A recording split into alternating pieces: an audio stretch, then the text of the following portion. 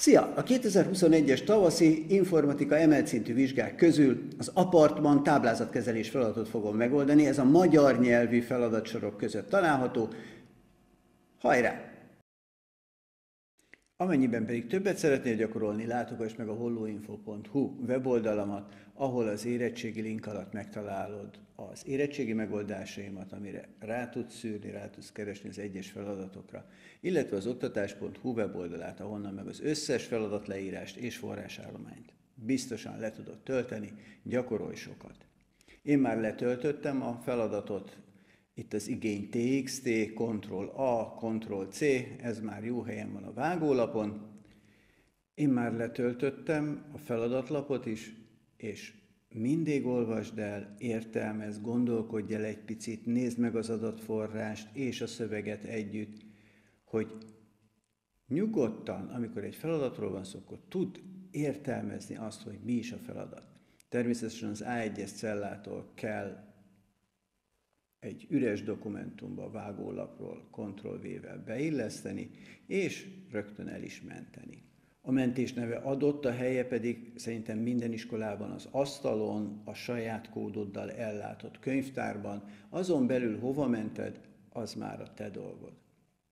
Most a feladat részletezi is, hogy melyik cellában mi van, tehát az, els, az F2-es cellában, ugye ott az első nap, amikor az apartman elfoglalható, meg az utolsó nap az F4-esben, az F6-osban pedig a maximálisan foglalható napok száma, illetve az A oszlopban az érkezés, a B oszlopban, vagy C oszlopban a távozás, a B oszlopban pedig az eltelt napok száma található. Az igen az egyik érdekes, mert akkor van igen, ha elutasították.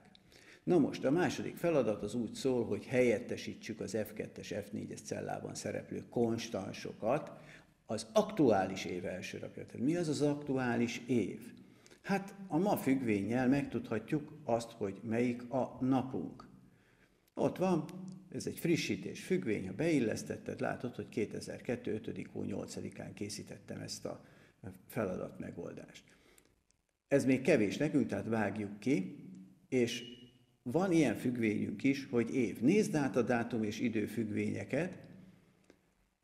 Az évben, ha megkapja egy időértéket, a ebben az esetben a ma függvényt, akkor látod, hogy egy ilyen hülye számot kapunk, kaptunk. Ez azért van, mert ugye 1900. január 1 -e óta eltelt napok számát tárolja, tehát ez így 2022, ha általánosra váltod, ha visszatesszük rövid dátumra, akkor egy 2022 nap az nem más, mint 5 év, 7 hónap és 14 nap.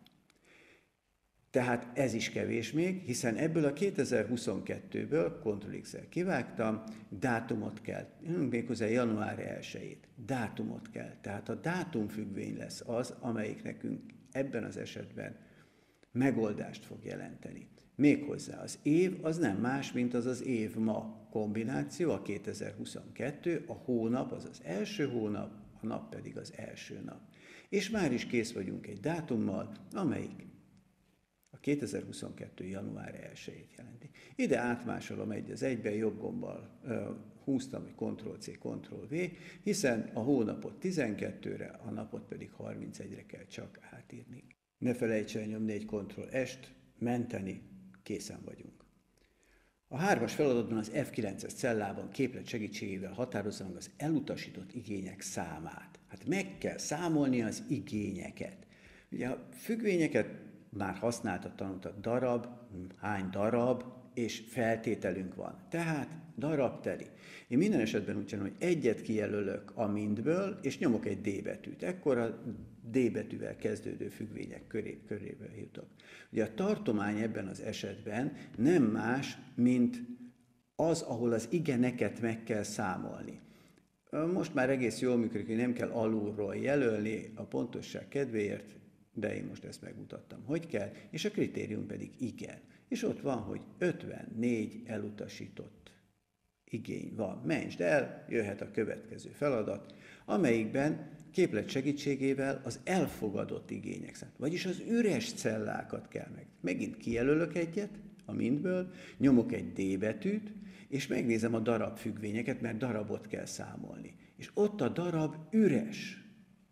A darab üresnek csak egy tartományt kell adni, és az üres cellákat, a tartalommal nem rendelkező cellákat fogja visszaadni azoknak a számát. És már is megvan, hogy 46. Kontroll, S, mentés, jöhet a következő feladat. Szövegértés, szövegértés, szövegértés. Tehát össze kell adni az éjszakák számát, de csak azokat, ahol elfogadott az igény. Tehát azokat kell összeadni az éjszakák a B oszlopból, ahol üres maradt a cella. Tehát szum, ha üres a cella. Már is megvan a függvény neve. Szum, ha. Megint ugyanúgy jártam el, kijelöltem egyet, nyomtam egy S betűt, és lapozok az S betűsek között. Ott a szumha, a szumha több is jó lehet, de a szumha egyszerűbb, mert csak egy feltételünk van. Az eleje, a tartomány és a kritérium ugyanaz, mint a darab telinél. A kritérium az most ebben az esetben üres, az összegtartomány pedig az, amit össze kell adni akkor, hogyha vele egy vonalban lévő cella tartalma üres. És már is ott van a 152 cella. Készen vagyunk. Újra mencs, jöhet a következő. Nagyon gyakran van feltételes formázás az emelt érettségén. Jelölt ki azt a tartományt, amelyikben a feltételes formázást végre kell hajtani.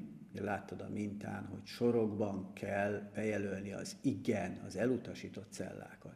A feltételes formázás a kezdőlapról elérhető, és ha nem feltételes formáznál, akkor érdemes végignézni, hogy mire van lehetőséget. Például itt van ilyen, hogy szövegtartalom, cella kiemelési szabályok, szövegtartalom, és elsőre mondhatnád azt, hogy hó, hát ide beírom azt, hogy igen, és akkor beállítom a formázást, látod, már rögtön kiszúrta, hogy ebben a tartományban hol van igen a tartalomban, és azt mondod, hogy hopp, akkor egyéni formátum és kitöltés szürkével is.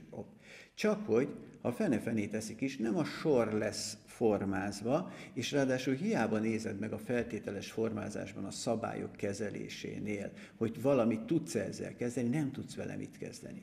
Úgyhogy vagy letörlöd és új szabályt hozol létre, vagy pedig szerkeszted ezt a szabályt.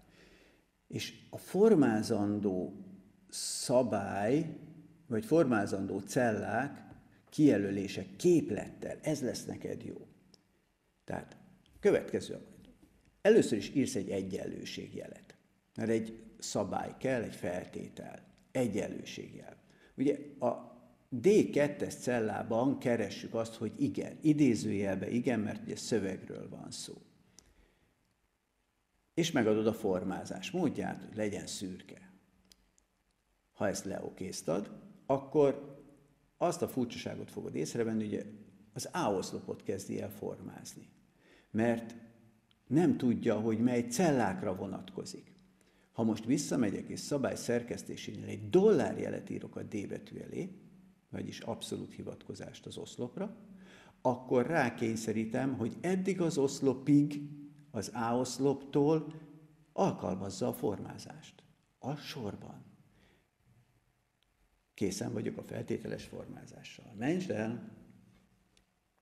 A feladat előtt szépen elmagyarázza neked, hogy a vél és a véletlen között függvényeket használhatod, és ugye az a helyzet, hogy a D2-es cellától kezdődően az igen szöveget véletlenszerűen kell előállítani 20% valószínűséggel. Na nézzük meg, hogy hogy működik ez a vél függvény. Ugye azt mondja, hogy 0-1 közötti balról zárt intervallumban, tehát ez azt jelenti, hogy nullát bármikor generálhat, de egyet sosem, értéket állít elő. Illeszd be a vél függvényt, és nézd meg, hogy milyen értékeket generál. Két gombra kattintás után látod, hogy nulla és egy között rengeteg értéket találsz, a nullát.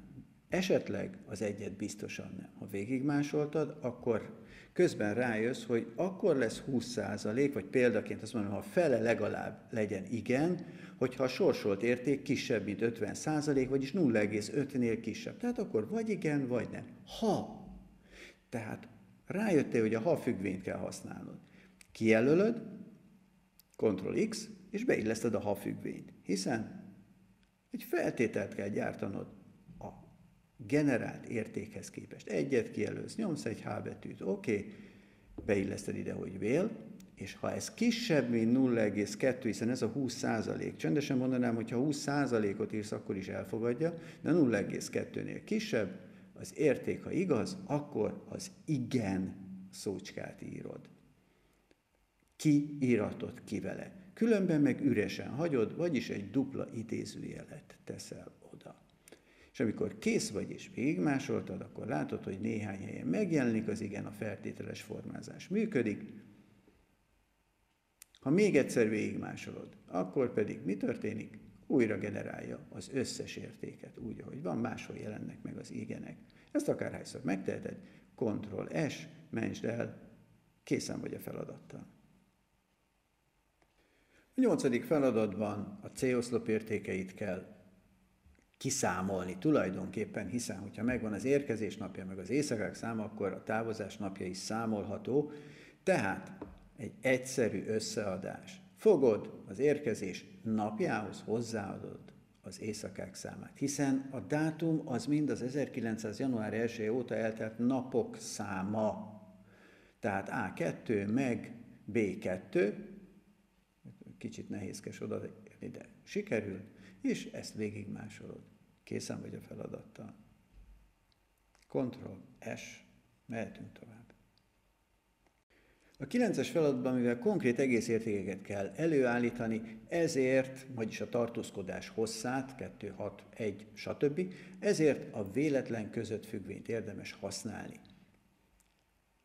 Zárt intervallumról van szó, tehát ha megkerested a függvényt, a véletlen között függvényt, és beillesztetted, akkor egy alsó és felső határt kell csak megállapítani, hogy megadnod neki. Az alsó határ az egy, legalább minimum egy éjszaka, a felső határ azonban az F6-os cella tartalma, hiszen a maximális hosszot figyelembe kell venni. Gondolnád, hogy készen vagy, mert, és utána nekiállsz és végigmásod az egészet úgy, ahogy van, de látod, hogy egy csomó hibát kaptál. Hát azért kaptál egy csomó hibát, mert a ha megnézel bármelyiket, ahol hiba van, akkor látod, hogy a felső határ figyelembe vétele nem sikerült. Mindig az első cellát javítsd, tehát a B2-est javítsd. Ott az F6, és ide egy abszolút hivatkozást kell tenni. Kijelölöd, nyomsz egy F4-et, és rögtön dollár F dollár 6-os lesz.